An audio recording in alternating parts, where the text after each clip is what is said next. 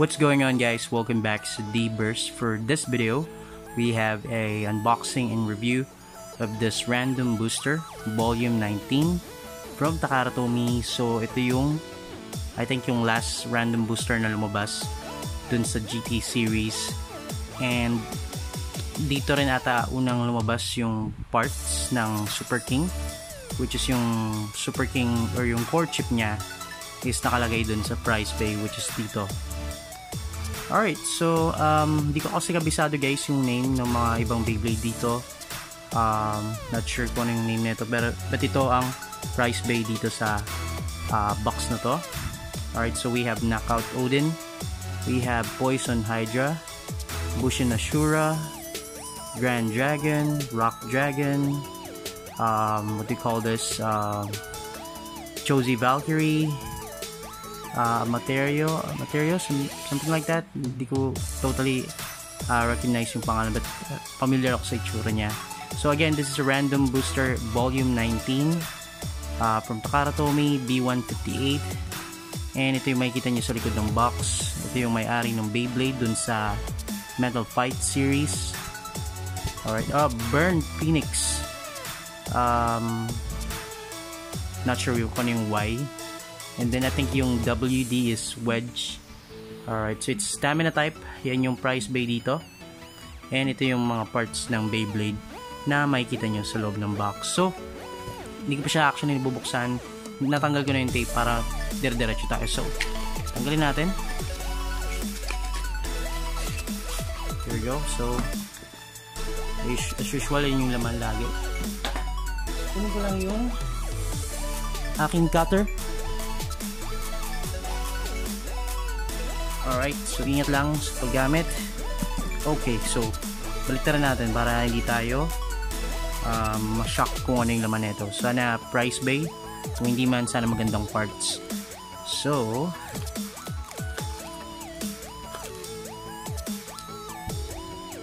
oh, nandun pa rin yung manual nito guys. Alright, so tabi lang muna natin yan dito.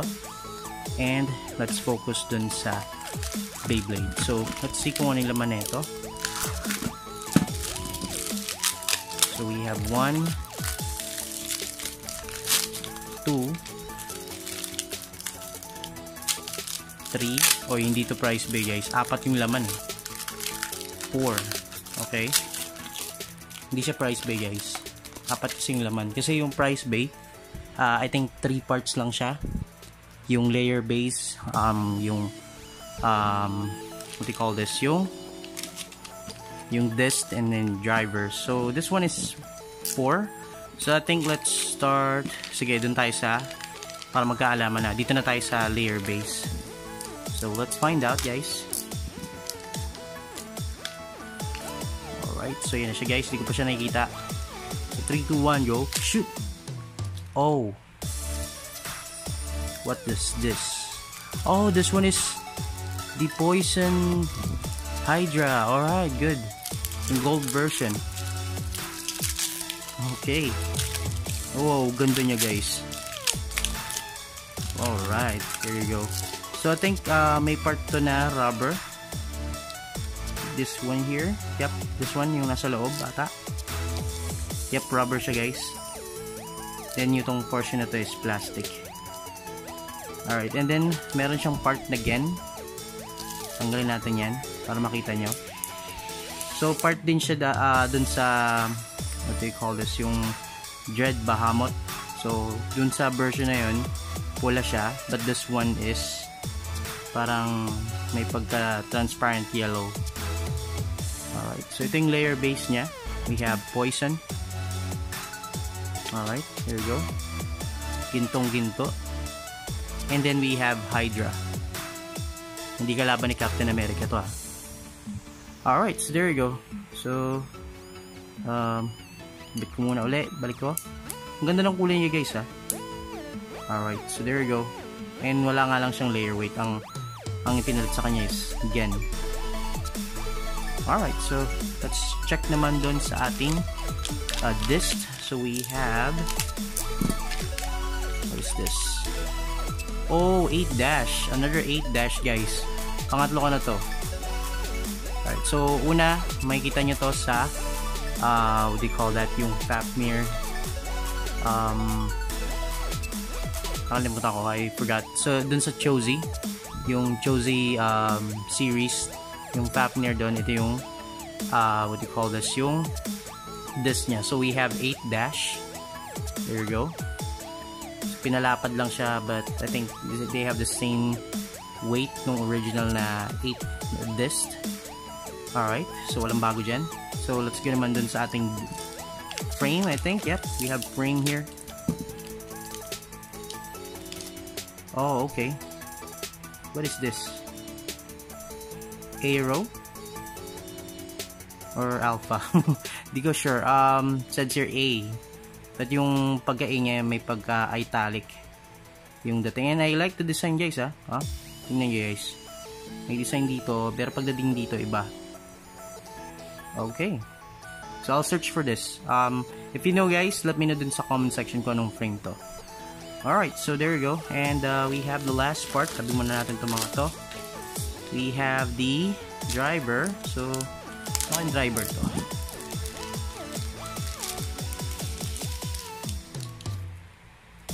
Ito. Whoa! Fusion Dash! Which is ito yung driver guys nung um, what do you call that? Yung sa Random Booster Volume 22, I think, or 21. Um, yung Price Bay na Abyss Diabolos. Ito yung driver niya. So, ito yung Fusion Dash. Ito yung tsura niya. Parang plain lang siya, no? Pero sometimes, nagiging aggressive yung ikot ng Beyblade. Pero ikot-ikot lang naman yung ginagawa nito. Based dun sa mga nakita ko. So, there we go. We have the driver, Fusion Dash. Alright, so I think let's combine all of the parts uh, for me to see how it looks like. Here we go. So I think this is the right spin. Sana naging gold din to, no? Alright, there we go. Yung click niya, andun pa rin naman kahit wala yung weight.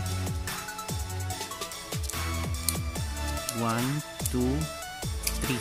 3 clicks before ma ma-burst. So there you go guys, we have uh, Poison Hydra, which is the gold version. Alright. And ito yung ilalim niya. And then yung side niya. Alright, so there we go. Um, balik lang ako guys. Didikit ko lang muna yung sticker.